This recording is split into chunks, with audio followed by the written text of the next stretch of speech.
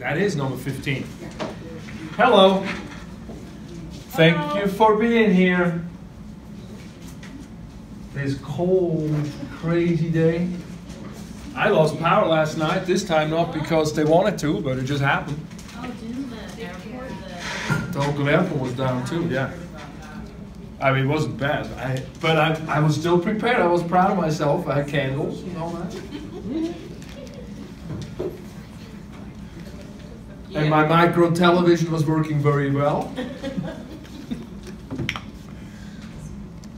All right, so what I want to do today is basically we just going to go through the respiratory system and to call it an early night. We'll pick up the quizzy back on Monday. Is that all right? Yes. Good. All right, so how was that quiz? Great. Not too bad? No, I did good. Good. Yeah. Mhm. On my first two. Question 15? Yeah. Okay, we'll get through that, huh?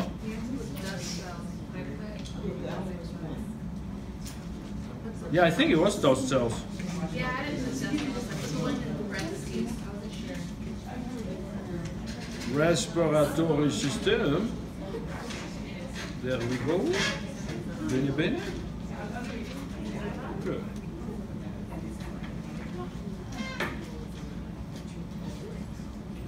I gotta learn to be ready, huh? it's new for me to do this. Okay. Good. Respiratory system consists of the lungs and deal with gases. It extracts oxygen from the atmosphere. What main gas does it get rid of? CO2. Carbon dioxide. Carbon dioxide. That's CO2. hmm Not carbon monoxide. A main function of the respiratory system is to keep the body's acidity within a narrow range. That means the body has to finely control the hydrogen ion concentration. Remember, acidity has to do with hydrogen ion. The more they have, the more concentrated they are, the higher the acidity is, the lower the pH is. That's an inverse relationship. As cells, Lower it is, the lower the pH is. You know, that, and a pH of 2 is very acidic. So it's kind of an inverse relationship. As cells break down, uh, cells, as cells break down glucose and harness ATP, the energy, carbon split, carbon atoms split off and combine with oxygen to form carbon dioxide. CO2 then combines with water, forming another thing called carbonic acid, which can then split into bicarbonate ions and hydrogen ions. Interestingly, bicarbonate ions are act reversibly, so they can either pick up or release hydrogen ion depending on the concentration of the hydrogen ion. So I don't need you to understand all the details of the of the um, of carbonic acid and bicarbonate ions, but I need you to understand that this is a buffer system that is chemicals that can pick up hydrogen ions and therefore control acid. We learned that. Bicarbonate ions is the is the Alka-Seltzer. Mm-hmm. It's the is what's in Alka-Seltzer that picks up the acidity. That's why they give it for stomach acid problems. And so it's the same thing really, but it's inside the body. And so let's go back to that. As as constant CO2 concentrations rise, hydrogen, hydrogen ions do as well. In the lungs, the body breathes out the CO2, effectively decreasing hydrogen ion concentration and therefore de- decreasing blood acidity. So that works together. Another thing I learned is if you want to lose weight, the best, you always lose weight by breathing out your weight. Carbons, you breathe out carbons, and the weight is, is hydrocarbons. like that. The fatty acids are, yeah, that's why exercise is good. You're breathing more out. I know. I didn't know that was like, you know, thank you, thank NPR, I tell you. Keeps my brain, keeps my brain active, all that NPR. Uh, which other organ helps balance the body's acidity while the production of the bicarbonate? Kidneys. the kidneys. So when we look at that, the, the acidity is very important. So first you have, uh, you can neutralize it because you got, you got the buffering system of the bicarbonate ions that just picks it up. It's like it's like right whatever it's there chemically. Then you got the lungs that breathe out the hydrogen ions, the carbon dioxide, and therefore control the acidity that way. And then you got the kidneys who can make more bicarbonate ions to make the buffering system bigger. So that's your three controllers for the acidity in the in the body. I know, tell you, you by now you know it's important. The acidity is important. And that's drinking water. Air contains oxygen which the body extracts within the alveoli of the lungs and then pass it on to the bloodstream, which then delivers it to the cells. In order to get deep into the lungs where oxygen can be exchanged, air has to travel from the nose or the mouth through a series of passages. What is the area collectively called that ventilates the lung? It's ordered. Is it abducted? It's abducted. The conducting zone. So you have a, an area in the lungs where you don't have an, an exchange of gases. And that just conducts the air to where we then have the gas exchange. So when we look that up here, we see in order to reach the body cells, we have the, the conducting zone that just ventilates the air. So that's everything to all about here, where we then get the alveoli come out. The alveoli are the respiratory zone because respiration is when the oxygen diffuses in from the air into the blood. Respiration. Respirator, okay. That's really it's actually technically it's really it's external respiration because you have the the air going from the air to the blood which come from the outside in and then when it goes from the blood to the tissue that is actually called internal respiration they call that internal respiration so that's your pathway of the oxygen from the air to the blood to the tissue make sense mm-hmm. good So there we go, conducting zone. That was the edge. The upper air passages, mainly the nose and the pharynx, not simply channel air towards the lungs, but they also warm, humidify, and purify the air we breathe in. How does the body keep these passages moist? Mucous membrane.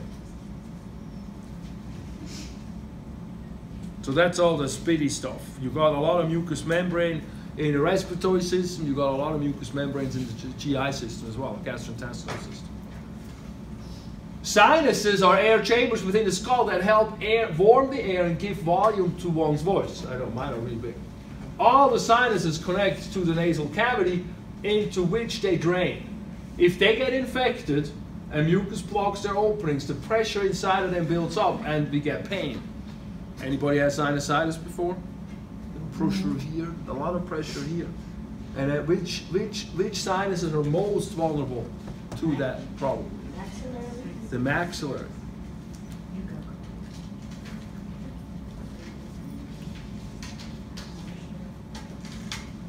Oh, here's the mucous membranes. The other, the other mechanisms to keep, well, to keep the, the air passageways uh, clean are cilia. They're whipping action. They're whipping, cilia are the ones that whip in one direction so they can whip the stuff out of there. All the gunk that we don't want. And there are the sinuses. That one, so we got all these different sinuses, the, uh, the frontal, the, the ethmoid, the maxillary on the back, and we got the, I mean, the, the, the, the sphenoid on the back, and then we got the maxillary, and they all drain down, but the maxillary drains up. And so gravity is to have a problem with that. So it's gonna be the one that clogs most likely is this one, the upper one. Didn't I have a question about the concha? I thought I had a question about the concha.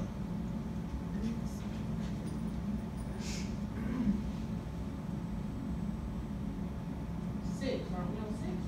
We're on six, but did I have a question about the concha? Did I have a, a discussion question about the concha? Let me look that up real quick. that way we could do that. Uh, because we do want to do the concha somehow. Nasal concha, there it is. Nasal concha within the nasal cavities are bony flaps covered with highly vascularized tissue. They are shaped in that way that when we breathe through the nose, the air has to circulate and slow down. So if you breathe, that makes sense? It has to sort of like, you can't just go straight in, it's going to turbinate. That's why it's a tur- they call them turbinates. They also call the conchas turbinates. Uh, how do they help the body prepare the air for the lungs? So they're the conchas. They're warming, and what else? Warm and making it moist. It's very important. So this is um, this is why it's important when you go to a cold climate. You've got to breathe. It's easier to breathe when you breathe through the nose. You don't get the burning going down. If you if you breathe through the uh, if you breathe through the mouth, very often you have the burning that goes down. Like, don't go sh- to Chicago.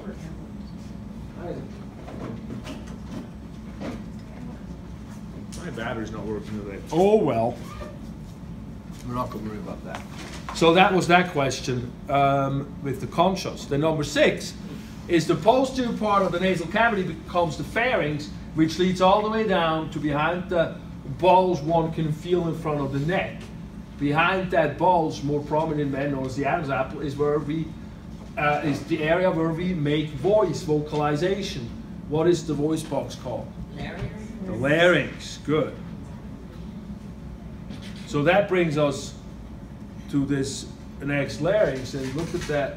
Is an interesting construct. We have. Oh, you should have one of those. Get one of those on the table, if you don't mind. Whoa. Those are the lungs, and yes, they are a little bit fragile, falling off. So hold them together like that. And this first top piece here, that's the larynx right here. That's the voice box. You see the Adam's apple here in the front. And you can look down and it has a thing going down. And that goes into the lungs, that hole that goes down. And at the opening of that hole, at the opening of that hole, is where we have vocal cords. Where we have two cords. And the cords can open and close. And depending how they open and close is how how the sound is that comes out of it. Is it high pitch? They're, they're very close to be close and very taut, or are they more relaxed and open? It's like in a guitar, the top string versus the bottom string. And so that's happening all here.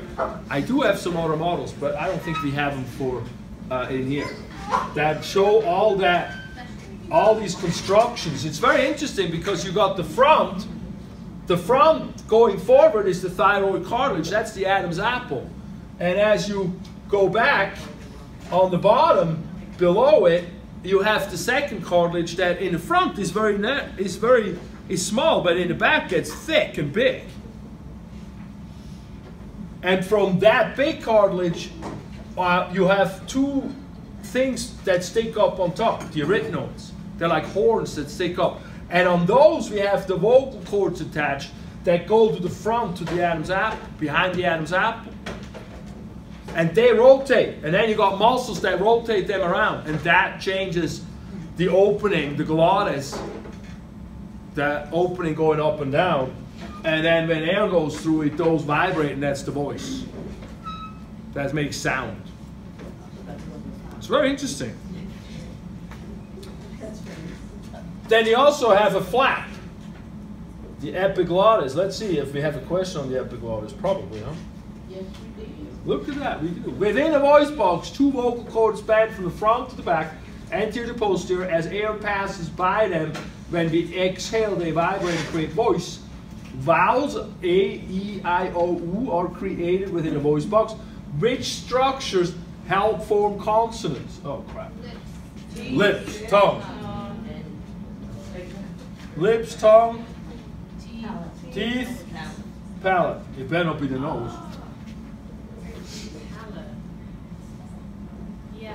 the well, you pushing the tongue around and you goes up there. You have everything that is that's in the mouth. Everything in the mouth, really.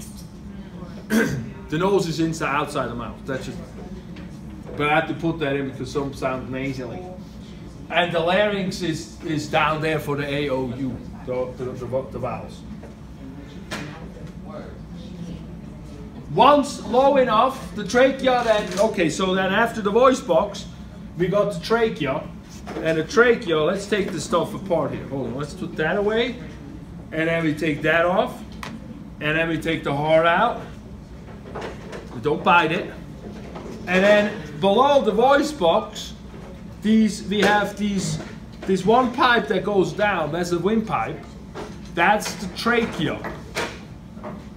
Right? And below that, then it splits to two. Oh, so this is the trachea, okay. Yeah, the trachea is the one tube. And then as it splits to two, we call it bronchi. We have a left and the right one. And then each of the bronchi feeds each lung. One on the right feeds the right lung, one on the left feeds the left lung. Uh, they split into ever finer branches, getting smaller and smaller until they reach areas where we exchange the gas, where the gas exchange takes place. What do we call those air sacs? Alveoli. So let's look at that on the picture. So we got the, oh, the epiglottis. Look, there wasn't a question, there was no question on the epiglottis. The epiglottis, we have to talk about real quick. When you look at the Adam's apple, here is easier. You see that from the front. The thyroid cartilage is the Adam's apple. You see that, and then above it, you touch it here, and then above it, you find a bone, like right above it's bone. If you touch it, if you squeeze it, it hurts a little bit. Don't squeeze it too hard. You don't want to break it. That's the hyoid bone. And behind the hyoid bone, we got a flap of cartilage, the epiglottis, that just sticks up. And as we swallow, the whole thing moves up and the flap goes down and stays in place. And as we swallow food, we don't want food to go down the windpipe. So as this is the epiglottis, as we swallow food and, and in swallowing process, this this whole chunk, this whole uh, uh, uh, uh, construction moves up, and that stays in place. The flap goes down and it covers the windpipe. And then you don't. And if you choke, the food goes down the windpipe because you were talking at the same time of swallowing, and this messes up the situation because it's two tasks for one moment and and it gets stuck right in here, and then you get these people go like, oh my god, I don't know what to do, and they can't talk, and you go and underneath the xiphoid below it. side for, the, Don't don't talk, go. The fist is on the xiphoid, then you take the other fist below it, so you're like by the belly button, and you scoop in and up. by the belly button? Uh-huh. Yeah, you, when you do the Heimlich, we have a picture of the Heimlich, I think, when it comes to the food next week.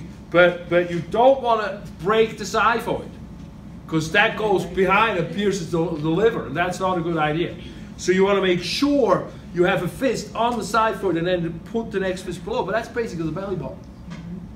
And then from there, you go behind them and you push in and up like. Good thing to know about that side. Yeah, yeah, it's a good thing to know about the xiphoid. And also the. I never had to do it, but you know, it's definitely if you need to do it. And the baby, you just the, baby, you have the baby face down, and you go from the back upward like that. I had to do the baby ones. Well, pizza, you know. All right, pizza and a lot of excitement.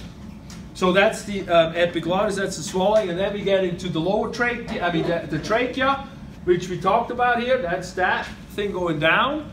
And one thing about the trachea is the. Uh, oh, look, there was a question. Why would that be helpful? That was the epiglottis. So, why would the epiglottis be helpful? So we don't choke. So food doesn't go down the windpipe.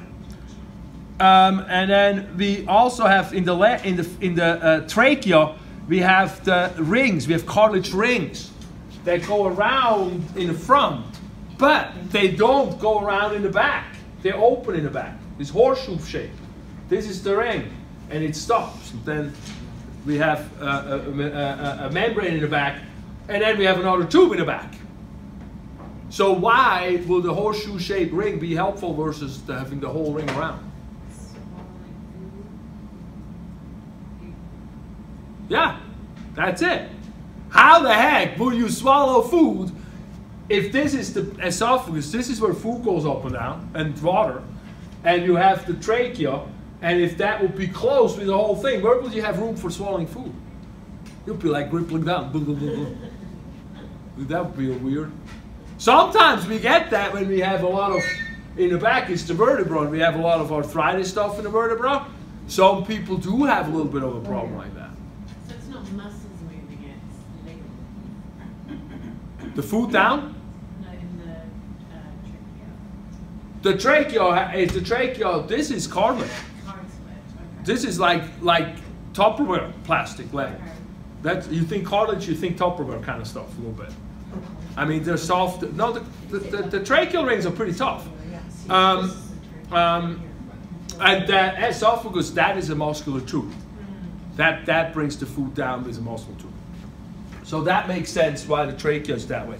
And then from the trachea, we go into um, that bronchial tree from wherever it splits, it goes to two bronchi, and then the bronchi split further and further. You can see that here, how finely tuned they get.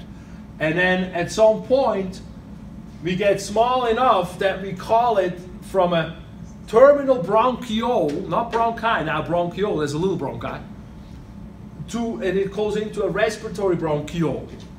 And from there, we have that respiration take place. Because from those, we have then the alveoli that are sort of grapes looking things that come off of that terminal or uh, the respiratory bronchiole.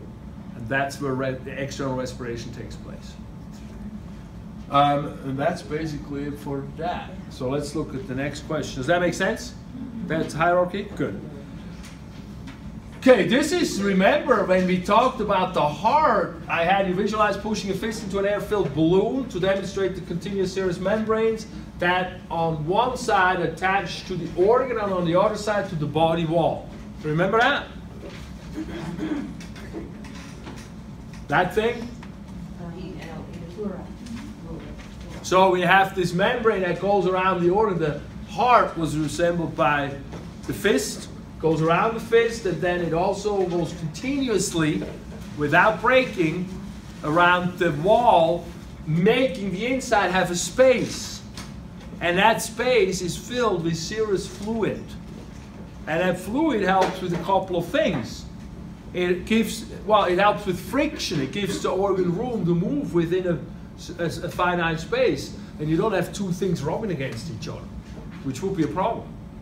We can see that especially in the lungs. I mean, how that would be a problem. Um, in the heart, that membrane is called the pericardium. What is it called in the lungs? Pleura. Good.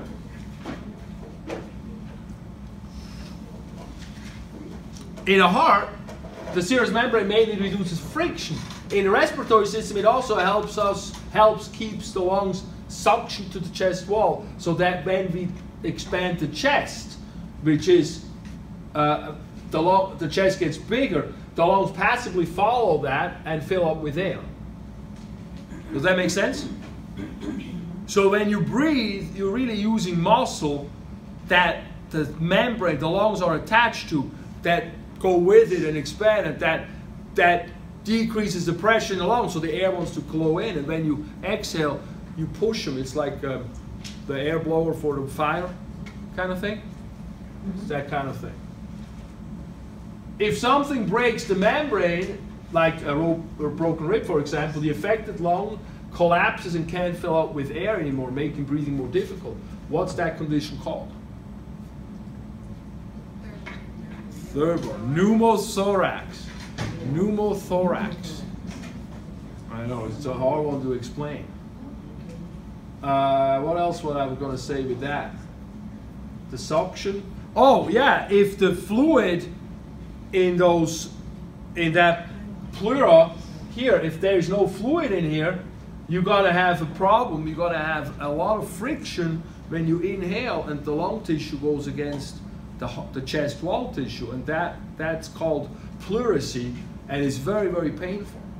It's like sandpaper feeling. Pleurisy. How do you lose that fluid?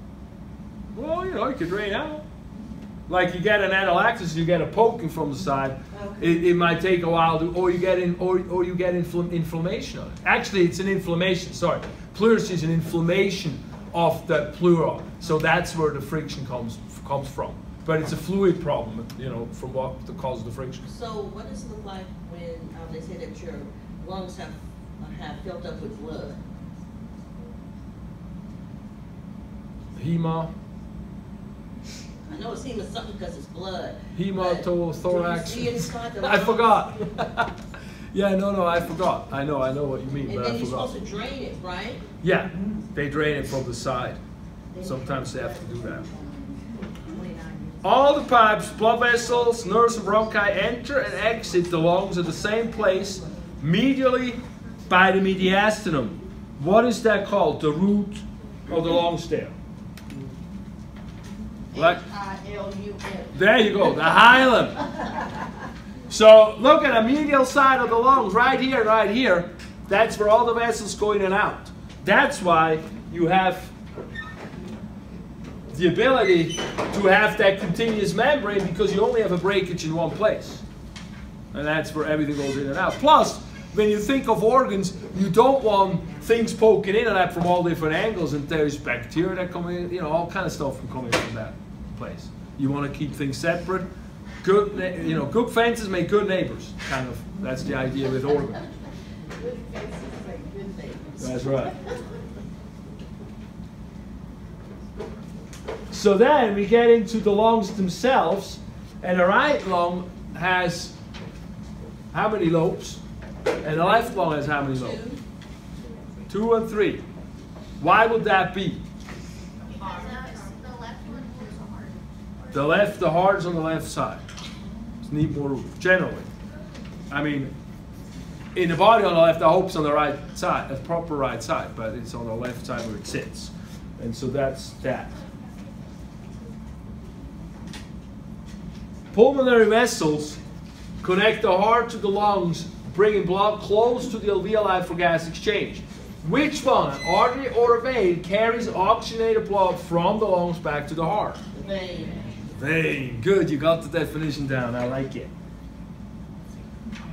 So it's oxygenated blood, but it goes to the heart, and a, a vein brings blood to the heart, an artery away from the heart. This is the one place where you got the thing be blue, be red, and it's called a vein. That's why you to know that. And they're actually the ones here in the back. These on both sides. There's two coming in on the back. I'm not using this heart for the heart. I'm using the hard heart. But you still got these back on the back where they come in. That's the that's the pulmonary veins. As we inspire, the chest cav- cavity expands outward and also downward. The often forgotten belly breathing. Which muscles is mainly responsible for increasing the cavities in cavity inferiorly? Diaphragm. The diaphragm. The good old diaphragm. That is very, very important. You want to learn, if you don't do it already, you you want to belly breathe. Stick that stomach out. Be proud of that. None of that military thing we have to do. Well, it is. I mean, deep breathing gives us more oxygen that relaxes the body more. You know, it is related. We freak out about. I mean, I had a patient. I told her, she's like, "That's stupid." I'm like, "No, it's not." you breathe more air, you get more oxygen, you have more energy, you're more relaxed. If you're stressed out, you restrict your breathing, you, uh, you run around like crazy. So next time you stop studying and you're tired of studying, you're laying on the bed, put the booklet on the belly and have it go up an inch and down an inch, up an inch, down an inch, till you fall asleep. We describe different respiratory volumes depending on how deep one breathes. Let's go right back to that. Quiet breathing without much exertion is shown as tidal volume, during which only about a half a liter, that's about a pint, of fresh air is, exchanges the lungs. More rigorous breathing, if possibly possible, by both inspiring as well as expiring more. Oh, we can do that more rigorous breathing by doing that. What is the maximal volume of a single breath called? Vital capacity. So that's all the way from all the way well, all the way out, all the way out, and then all the way in, and that's the tidal. That's the vital capacity. And that should be coming up somewhere here. Where is it? Come on. There's muscles. See all these muscles? This is a cool picture. Uh, when you look at inspiration, you got the mainly the diaphragm, the dome-shaped diaphragm that pulls down. You can only see how much volume that changes. And then you've got the external intercostals. They bring the ribs up.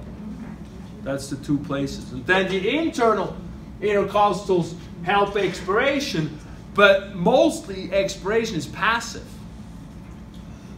So just call, you know, it, lets it go. It inspires, inspires, and then it lets it go.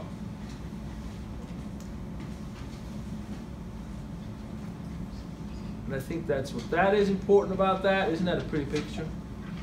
I always like that.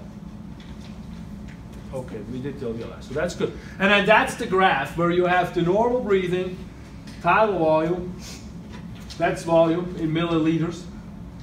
And then you you you you you that you exhale deeply, and that's the expiratory reserve volume, and then you in, inspire deeply, or yeah, deeply, and that's the inspiratory reserve volume, and then that whole thing is the vital capacity. And then you got the residual volume, and that stuff is just what's stuck in a, in a conducting zone. That's not exchanging air. That's just sort of in the in the area of the from the nose mouth to the lungs where we don't where we don't have any gas exchange happening. That's why you got that 1200 liter. That's why you got that two and a half liter down there. That makes sense? Yeah? Yeah. No? Good. The vital capacity. Here we go. Give me the point. I want that point.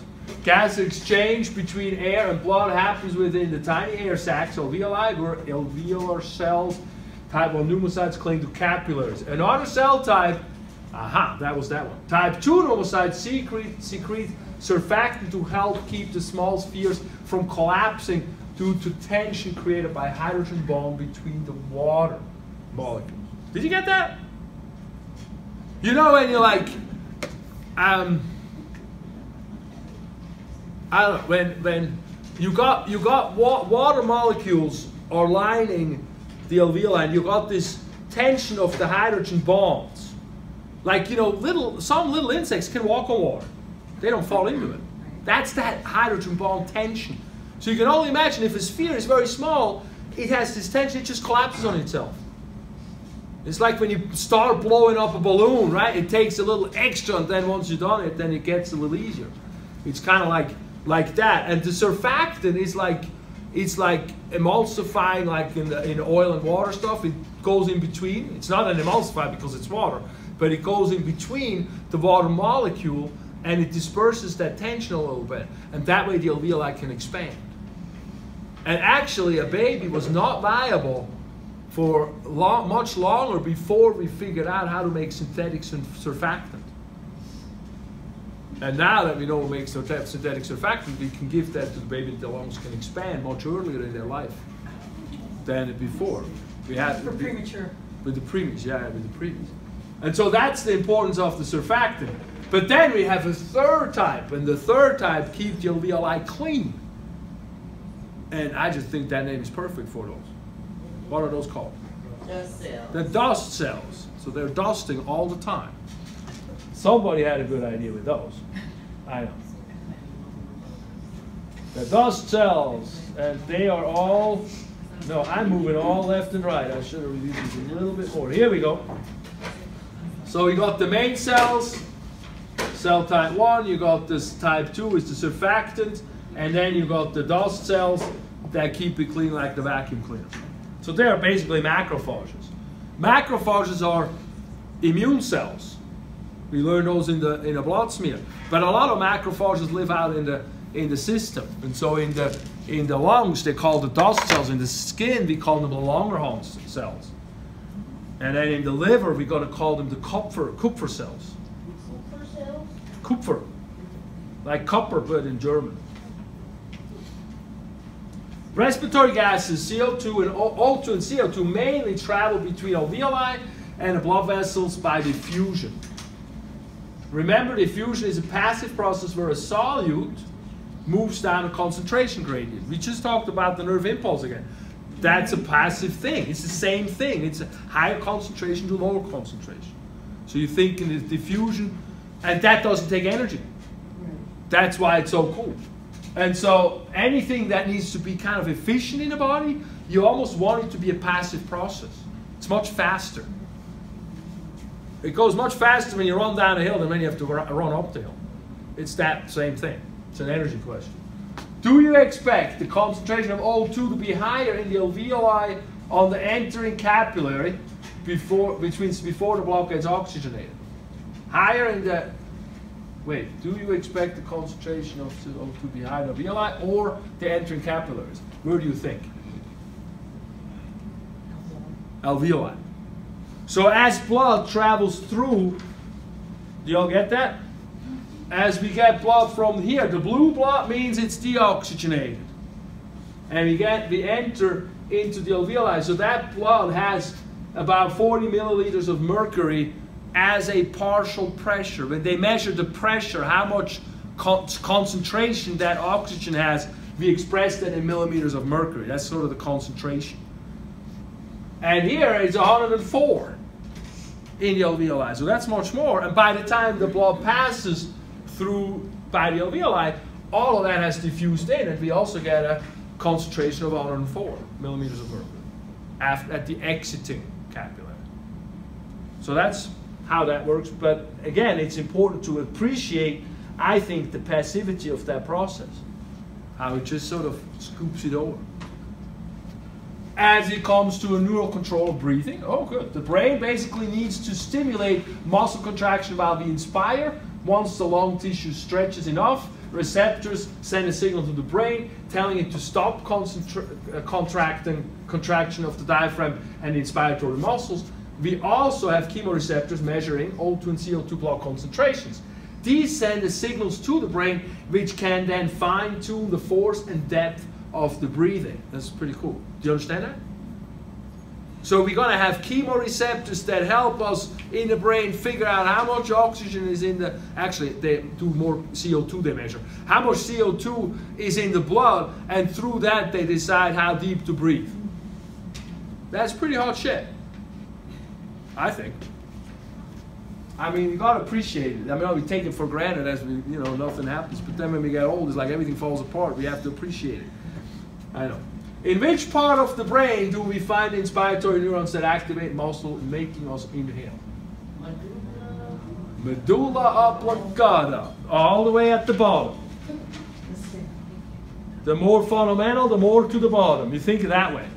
When you, you don't know in the brain and you have to think about it, the more like life-sustaining stuff, we all go to the brainstem. The more thinking, go to the cortex the more you know, the more consciousness goes on. So the cortex is thinking. The cortex is consciousness. The brainstem is uh, is automated stuff. You can think salamander brain is a brainstem. So whatever a salamander needs to do, you got in the brainstem, more or less. You know, I think of that way. Well, the brain is complicated. It's good to kind of have some rules around it. Then you can always, if you have to break the rules, you break the rules, but that's all right. Uh, then this goes a little bit into um, carbon monoxide, how carbon monoxide is hard because it attaches to the hemoglobin stronger than oxygen. And that's, that's, that's why it becomes toxic because then the tissue don't have enough oxygen and they starve from oxygen. That's, so don't breathe in the exhaust from your car. That is not a good idea. And then here we have when we got the hypoxia, we can see that in the lips that get them out of the water at that point, uh, or the fingers, or the, you know, the extremities. And here's the control breathing. So a lot of that stuff happens in here. Um, I just put this up. This is more detail than I need you to know. But in Bio 20B, you can catch up with it. You can get it as a starting point or in Bio 2 and then move from there. Good. I think that's good enough.